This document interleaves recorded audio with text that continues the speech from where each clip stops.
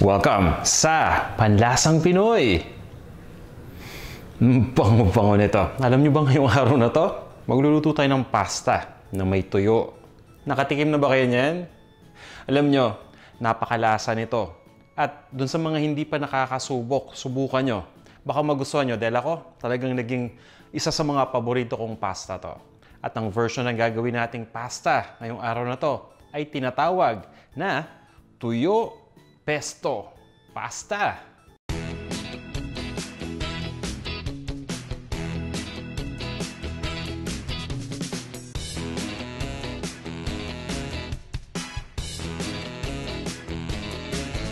Ito yung mga sangkap na gagamitin natin para dito sa ating featured recipe ngayong araw na to. Spaghetti. Ito naman yung tuyo at niluto ko na to. Gagamit din tayo ng fresh na pesto. Gagawin natin yan mamaya from scratch. At ng parmesan cheese, kailangan din natin ng tubig. Para naman sa pesto, kailangan natin ng basil leaves, ng pine nuts. Gagamit din tayo ng parmesan cheese dito. Ito naman yung bawang at yung extra virgin olive oil. At ito naman yung kompletong listahan ng mga ingredients. Bango talaga. Kasama yung sukat ng bawat isa.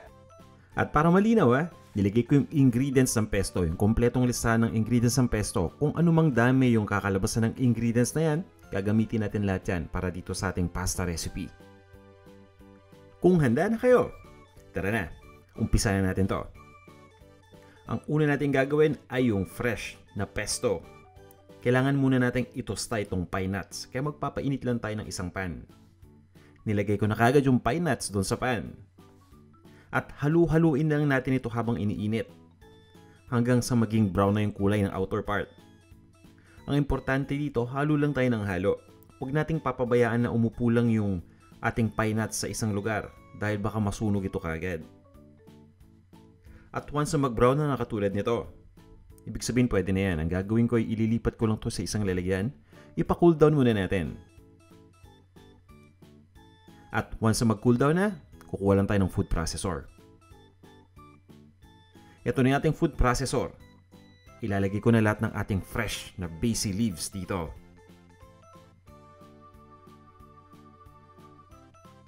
At pagkatapos niyan, ilagay na natin yung ating tostadong pine nuts. Kaya dapat room temperature na tong pine nuts natin. Maglalagay na rin tayo ng bawang. At umpisa na natin ang pag-blitz dito sa ating food processor.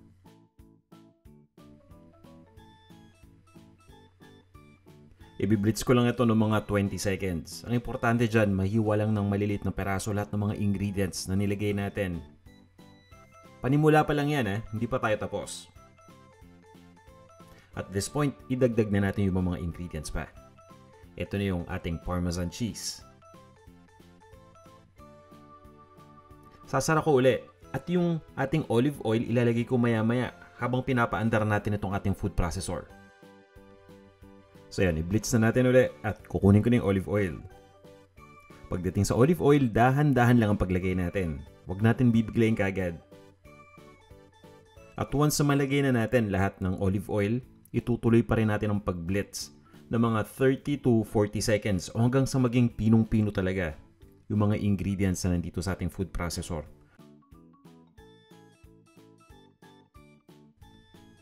Yan yung gusto nating consistency. I-turn off na natin ito. At ang gagawin ko ay ililipat ko lang itong ating fresh na pesto sa isang lalagyan. Tinan niyo, di ba? Ang ganda ng consistency. Yan ang gusto nating mangyari.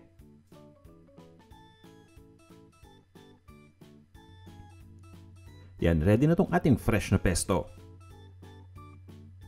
Yung tuyo naman yung ipe-prepare natin. Pagdating sa tuyo, hihimayin lang natin ito. Itong tuyo ay naluto ko na ha. So ang gagawin natin, tatanggalan lang natin ito ng kaliskis. At ng tinik. Siyempre pati yung ulo at yung buntot, tatanggalin din natin yan. Kumbaga yung laman lang yung gagamitin natin. Kailangan natin ng tuyo flakes. Ilalagay lang natin ito dito sa isang bowl at pagkatapos ay icha-chop ko lang ito ng malilit na peraso. And at this point ay ready na itong tuyo. Pwede na tayong magluto ng ating tuyo pesto pasta. At kung makikita ninyo, pinong-pino yung pagkakahiwa, yan yung gusto natin. So, ready na yung ating pesto. So, andito na. At ito na rin yung tuyo na yan, na-shred na natin. So, ready na itong dalawang mga ingredient, no? Ang ginagawa ko ngayon ay pinapakulo ko lang yung tubig. Dahil kailangan na nating lutuin itong ating spaghetti o itong pasta. Iba sa inyo, ang tawag sa spaghetti, pasta. O, kung ano man ang tawag niyo, spaghetti o pasta, o basta lulutuin na natin to. Itong noodles. Spaghetti, pasta o noodles, ayan. Nagpapakulo lang ako ng tubig. Malapit ng kumulo. So, ang gagawin ko habang hindi pa kumukulo, ito, no, ah, kukuha lang ako ng asin.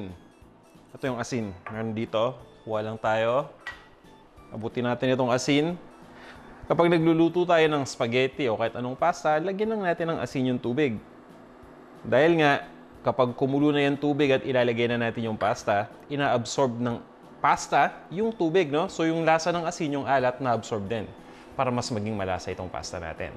So hintayin ko lang na kumulo itong mabuti at ilalagay na natin itong ating spaghetti. At this point, ay kumukulo na itong tubig. So yan, kung makikita ninyo, no, naka-rapid, ano na tayo, rapid boil na. Talagang kulong-kulo na. Yan yung gusto nating mangyari. So kapag kumukulo na ng ganyan yung tubig, idiretso na natin itong pasta o itong spaghetti. Ayan. At lutuin lang natin ito. Batay sa nakalagay sa package instructions. Alam niyo lagi kong sinasabi ito dahil iba-iba yung mga manufacturer ng iba't ibang pasta. No? So, depende yan sa kanilang mga ingredients. Kaya sila ang nakakaalam kung gaano katagal ang pagluto. Kumbaga yung magiging best result. At once na maluto na natin itong spaghetti, ang gagawin natin ay i-drain lang natin yung tubig. Magsasave lang tayo ng konting pasta water just in case na gagamitin natin maya-maya. Ayan. Tapos niyan ay paghahaluin na natin, i-assemble na natin yung ating tuyo pesto pasta. At this point ay ready na yung ating spaghetti o yung ating pasta. So ito na. Napa-cool down na natin ito, na-drain lang natin yung tubig. At ang gagawin natin ngayon, i-assemble na natin. So ito yung pesto. Ilalagay na natin dito. Yan, ilagay na natin yung pesto. Kalahati lang muna yung ilalagay ko. Pagkatapos ay imimix natin ito kasama yung ibang mga ingredients na ilalagay natin. Yan. Ito naman yung tuyo. O yung tuyo flakes. Basta tandaan ninyo, importante na lulutuin muna natin yung tuyo bago natin ito i-flakes. At nasa sa inyo kung gusto niyo maglagay ng shredded na parmesan cheese. Yan. So, ang gagawin natin ay ito-toss lang natin ito. Natandaan nyo kanina, di ba? Sabi ko yung pasta water, magsasave tayo ng konti.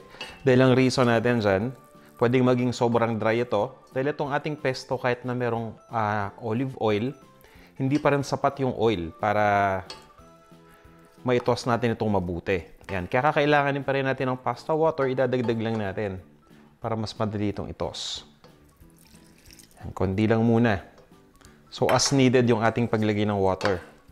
Huwag naman nating damihan agad-agad at dahil baka naman maging sabaw na tong ating ano no, tong ating dish or tong ating pasta dish. Yan. So yan, i-distribute lang natin mabuti lahat ng mga ingredients na nilagay natin initially. At pagkatapos niyan, unti-unti tayong maglalagay uli ng pesto at ubusin na rin natin yung tuyo. Yung iba sa inyo, no, iniisip, bakit hindi nilang kaya ilagay olive oil instead na tubig? Well, actually, mas magiging oily ito kapag olive oil yung ilalagay natin. Yung tubig naman, saktong-sakto lang naman yung amount na nilalagay natin. Kaya, hindi siya makaka-affect sa pasta in a negative way. Bagkos, mapapabuti pa nga nito yung, ano, no, yung ating pasta dish.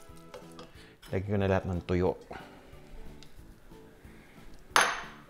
Yan. At ito pa yung cheese. Dagdagan pa natin ng cheese. Again, itong cheese ha, nasa sa inyo kung gusto nyo pa maglagay. So yan, tutuloy ko lang ang paghalo.